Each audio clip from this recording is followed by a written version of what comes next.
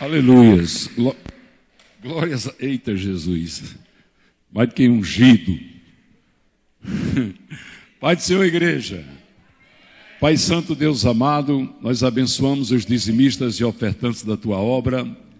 Consagramos a ti, Senhor, os dízimos e oferta dos teus filhos e pedimos a tua recompensa sobre suas vidas, a tua bênção, Deus, sobre a vida de cada um, Pai, que tem no coração o desejo de ajudar esta obra. Abençoa a todos, honrando votos e propósitos, em nome de Jesus. Amém. Obrigado, Netinha. Amados de Deus, nós vamos fazer uma leitura no livro de 2 Reis, no capítulo de número 23. 2 Reis, número 23. Aleluia. 2 Reis, capítulo 23. A igreja abre para a gente fazer a leitura de alguns versículos, começando a partir do versículo de número 1. 2 Reis, capítulo 23. Vamos ler. Então o rei ordenou, e todos os anciões de Judá e de Jerusalém se ajuntaram a ele. E o rei subiu à casa do Senhor, e com ele todos os homens de Judá e todos os moradores de Jerusalém, e os sacerdotes e os profetas, e todo o povo, desde o menor até o maior.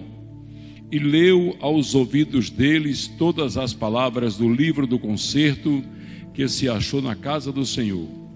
E o rei se pôs em pé junto à coluna e fez o concerto perante o Senhor, para andarem com o Senhor e guardarem os seus mandamentos, e os seus testemunhos e os seus estatutos, com todo o coração, com toda a alma, confirmando as palavras deste concerto que estavam escritas naquele livro, e todo o povo esteve por esse concerto. Amém. Só até aqui, amados. É, queridos, palavra de Deus diz assim: o rei fulano de tal andou com o Senhor e fez o que era bom aos olhos de Deus. Outras versões bíblicas diz: fez a vontade de Deus. Nessa época aqui, esse rei Josias, ele era filho de Amon, da descendência de Acais. Israel estava vindo de uma de muitos anos de idolatria, do povo buscando a Baal, a Zerá. E Deus vinha castigando tremendamente Israel por causa disso. E esse rei, ele chama os sacerdotes, chama o povo para voltarem-se para Deus. E Deus fez coisas maravilhosas na vida dele. O que é que eu quero trazer hoje para a igreja de Jesus que está aqui ouvindo a palavra do Senhor? Amados, todos nós, todos nós, para termos a bênção de Deus, precisamos nos alinhar com Ele. Alinhar. Porque o que é que acontece? Tem muitas pessoas que estão nas igrejas e perguntam por que, que as coisas não dão certo. Por que, que não tem felicidade na família? Por que, que tem tanta coisa errada? Uma série de coisas. Quando nós nos alinhamos a Deus, Deus vai fazer aquilo que nós desejamos. O que é que a palavra diz? Deleita-te no Senhor e Ele concederá o que deseja o teu coração. Entrega teus caminhos ao Senhor e tudo Ele fará. Salmo 37, versículos 4 e 5. A vontade de Deus é que todos nós, seus filhos e filhas, tenhamos comunhão com Ele, com seu Santo Espírito. As pessoas às vezes questionam porque acham que ser crente é muito difícil. É difícil, porque você viver no mundo com tantas tentações, com tantas coisas, é meio difícil. Mas não esqueça que muitos trabalham nas empresas e a primeira coisa que eles têm que botar é uma farda, é um uniforme, é um capacete, vestir a roupa daquela empresa. O policial militar veste a roupa da polícia militar, o soldado do exército, da marinha da aeronáutica da mesma forma. Para andar com Deus, nós temos que nos revestir do Espírito Santo. A nossa roupagem é uma roupagem espiritual, mas é uma roupagem espiritual que reflete para o mundo. E a gente vai começar a entender essas coisas. E por incrível que pareça, mesmo estando na presença de Deus, a gente às vezes erra peca, e qual é o procedimento? Arrependimento e voltar aos caminhos do Senhor. Você veja que a palavra de Deus diz que no fim dos tempos haveriam falsos profetas e que, se possível, enganaria até os escolhidos. Imagine aí, falsos profetas enganando os escolhidos. Quem são os escolhidos? Aqueles que aceitaram Jesus já foram escolhidos para Nova Jerusalém. Serão enganados. Eu já passei por processo de ser enganado. Enganado em vários aspectos. Você não é diferente. Mas o que é que nós temos que fazer? Nós temos que consagrar nossas vidas a Deus. Eu hoje passei por uma experiência, até contei na rádio. Amanheci o dia hoje, não me aguentava em pé sobre as pernas. Irmãos, eu moro no primeiro andar e desci a escada para tomar café, quase não consigo chegar na cozinha. Me sentei à mesa, minha esposa tinha posto a mesa, fiquei olhando para o café, para a torrada, para os ovos e não tinha força para comer. E passando mal, achando que eu ia desmaiar. E minhas pernas, olha. Eu falei, meu Deus, eu nunca senti isso. E ela disse: O que, que é? Eu digo: Eu estou passando mal, está parecendo que eu vou desmaiar. Há uma fragilidade no corpo, uma fadiga, uma coisa terrível. Naquele momento ali, o Espírito Santo me revela que é espiritual. Eu boto a mão no peito, começo a orar e começo a repreender no nome de Jesus e no sangue de Jesus. Se eu repreendo essa seta, eu repreendo porque o inimigo ele quer lhe destruir, irmão. Não tenha dúvida disso não.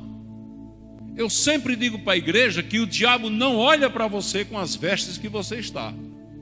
Ele olha para você como um soldado, uma soldado fardada, com, as, com um fardamento espiritual, e o desejo dele é desativar você, porque se ele desativar é um a menos para ele lutar contra. É verdade? O inimigo ele vai lhe atacar, e ele vai lhe atacar naquilo que você mais ama, porque ele é covarde ele vem até você, você está blindado pelo Espírito Santo, ele não lhe ataca, mas ele procura um filho, procura um parente, procura sua mãe, seu pai, procura uma pessoa que você ama e lhe ataca. O inimigo, quando quer atacar a igreja, quem é que ele ataca? O pastor. A palavra de Deus diz: Ferirei o pastor e as ovelhas dispersarão. Quantas igrejas não fecharam as portas porque o pastor adulterou? Quantas igrejas estão fechadas? Infelizmente, Mossoró tem quatro igrejas que fechou por causa disso. Então a vigilância nossa tem que ser grande. Aqui nós vimos o rei Josias convocando todo o povo para orar. Não tenha vergonha de chegar num irmão seu que você tem amizade, que você confia e dizer: Meu irmão, minha irmã, ore por mim, me coloque nas suas orações para ele apresentar você a Deus nas orações dele. Senhor, lembra de fulano, de cicrano, tu sabes o que é está acontecendo. Porque isso, a igreja orando tirou Pedro da cadeia. O anjo foi lá buscar Pedro. Pedro estava, no outro dia seria sacrificado por Herodes. Herodes já tinha matado Tiago e ia matar Pedro. Pedro já tinha se entregado, a palavra diz que Pedro já tinha até tirado a roupa, descalçado as sandálias. Ele já tinha dito: Vou morrer mesmo. Só que o anjo chegou e falou: Veste as tuas roupas, calça as tuas sandálias e vem comigo. Entendeu? Então, quando a igreja ora, quando as pessoas oram, a gente se reveste. Aqui o rei Josias chamou toda Judá, toda Jerusalém. Pastor, só tem aqui nessa Bíblia? Não, não só está aqui não. Está em 2 Crônicas, capítulo 20, está em Isaías 38. O rei Josafá chamando o povo para jejuar, para orar, para se consagrar. E vocês sabem o que foi que Deus fez lá. Nós estamos numa campanha, e eu sempre digo isso Vamos orar por todos que estão na campanha. Tem gente nessa campanha na Inglaterra, na Rússia, na Ucrânia, em tudo quanto é canto desse mundo. Tem gente de toda parte do mundo nessa campanha. Quando estivermos orando, vamos pedir a Deus que atenda as petições e as orações de cada um deles. Vamos nos fortalecer. A nossa campanha será forte quando orarmos uns pelos outros e vigiarmos. A vigilância do crente é algo tremendo. A Bíblia cita o atalaia. O atalaia era um guarda. O atalaia era aquele guarda que ficava na torre. Eram dois guardas, dois turnos de 12 horas. E sabe o que é que tinha lá em cima? Um espaço bem pequenininho que era para ele não ter onde deitar. A torre do Atalaia, você pode botar a torre do Atalaia que você vai ver nas imagens do dá um Google que você vai ver. Era bem pequenininha. Hoje, nessas guritas que tem aí de, de penitenciário, o guarda, se quisesse deitar, se deita, que tem espaço. Mas o atalaia não, era só o cantinho dele rodar. Se ele quisesse sentar, ele não conseguia. Ele ficava assim, ó. O dia inteiro, a noite inteira olhando. Por quê? Porque na sua cidade, que era fortificada, que tinha as muralhas, existia um espaço de quilômetros aberto, que era só terra. Ele não deixava nenhum mato para o inimigo não se esconder.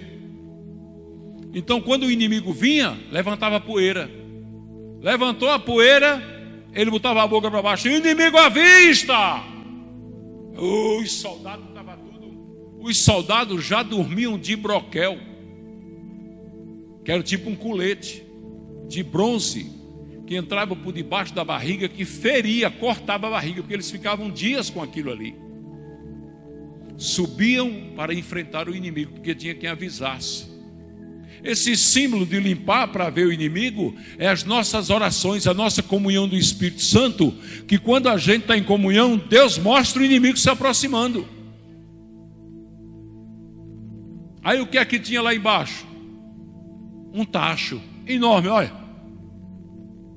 Lenha, dia e noite, dia e noite, o tacho fervendo. Chega borbulhando. Inimigo à vista, todo mundo corria no balde, enchia o balde de azeite quente, subia para cima da muralha, o inimigo vinha tentar arrombar o portão e eles tomam azeite, morriam queimado o inimigo. Sabe o que isso simboliza? O fogo lá no tacho simboliza o nosso coração aceso no Espírito Santo dia e noite queimando na presença de Deus. O azeite simboliza o Espírito Santo na nossa vida. Quem vier contra nós, nós temos o Espírito Santo para dizer: Eu te repreendo no nome de Jesus, no poder do sangue do Cordeiro de Deus. E nós somos atacados. Quando a sua fé é abalada, é um ataque. É o inimigo dizendo: Não vai conseguir, não, não vai receber. Quando a tristeza bate no seu coração, é um ataque. Quando você está esperando algo e não acontece, no primeiro sinal você desanima, você cedeu o ataque. Não ceda o ataque. Pegue o tacho, pega o azeite quente, joga em cima e diga assim: Eu vou vencer, ué. vou derrotar esse inimigo. Ué. Nós temos um exemplo na Bíblia de um homem muito corajoso. A parte que tocou para ele foi a parte de Hebron, o monte de Hebron, que só tinha gigante. Ele tinha 40 anos, ele saiu na guerra, conquistando a terra para os outros com 80 anos. Ele chegou para Josué e falou: Me dê, me dê o monte que Deus me deu, que eu vou lá derrotar aquele gigante e tomar posse, porque a minha espada ainda não descansou na bainha. Ele era um matador mesmo, Caleb, eram os homens mais corajosos de Israel. Josué e Caleb, e ele subiu lá, derrotou o gigante e tomou de conta do monte. Então, às vezes, você diz: Eu estou cansado, minhas forças estão acabando, já não suporto mais, já não dá mais, não consigo mais. Ei, irmão, aquece o teu coração com a fé, fortalece-te nas orações, no jejum, busca a Deus, porque Deus vai te dar a vitória. Sabe o que aconteceu em Israel, né? Moisés mandou 12 espias olhar a terra. Quando voltaram, quem tem visão de Deus tem outra visão. Chegaram dez, dos doze, dez chegaram dizendo: ah, lá não. Lá a terra é boa, mas lá só tem gigante, nós é como gafanhoto. Quer dizer, eles são grandes demais. Aí Josué se levantou e falou: Mas Deus se agradou de nós e vai nos dar essa terra. Nós vamos lá. O povo estava triste, porque achava que não ia entrar na terra prometida, mas era uma promessa. Era promessa de Deus. E sabe o que aconteceu? Os dez que não acreditaram não entraram na terra prometida. Deus não deixou. Deus não deixou. Deus ficou com raiva. Deus disse: Olha, os seus cadáveres vão ficar no deserto, porque vocês não acreditaram na minha fidelidade. Então a minha fidelidade, a tua fidelidade agrada o coração de Deus. Eu creio. Eu creio, Jesus, que o que eu estou te pedindo o Senhor vai me dar. Eu creio que esse vale da bênção é meu e eu vou entrar nele e vou tomar posse. Que conversa é essa? É assim que tem que ser. Porque se você não acreditar no seu milagre, ei, ninguém vai acreditar não. A fé tem que começar por você e Deus só quer a sua fé. Então toma posse da sua vitória, não desanime, não desista e se prepare. Se prepare para desfrutar das bênçãos do vale. Porque vão ser bênção. Josafá foi para a guerra. Na cabeça de todo mundo ia encontrar inimigos armados, ferozes, eram muitos, eram quatro reinados contra ele. Quando ele chegou lá naquele vale, só viu corpos mortos. Deus já tinha destruído tudo. O exército de Deus já tinha partido na frente, estava tudo derrotado. Ele só fez colher. Só fez colher. Porque o nosso Deus, ele tem duas coisas interessantes dele que eu acho lindo. Primeiro, ele manda você colher onde você não plantou. E depois ele tira de onde não tem e coloca onde não cabe. Só ele faz isso. Ele é tremendo. Amém, amados? A igreja toma posse dessa palavra? Então vamos orar uns pelos outros, meu amor. Vamos ficar de pé para a gente orar e agradecer a Deus, amados.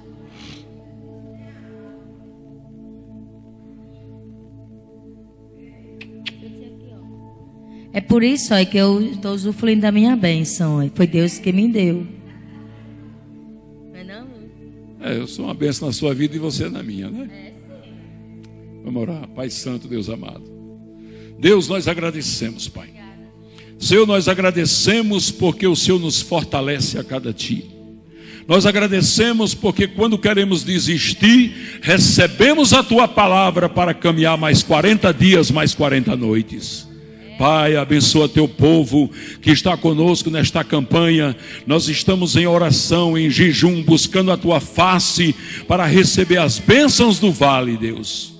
Transforma o vale de lágrimas, o vale de vergonha em vale da bênção para a vida dos teus filhos e filhas. É o que nós pedimos, Deus. Abençoa a tua igreja, Jesus. Abençoa todos que estão conosco, de perto ou à distância, para que sintam a tua presença a cada dia, Senhor, e já possam ver pelos olhos da fé as bênçãos em suas vidas. Amém.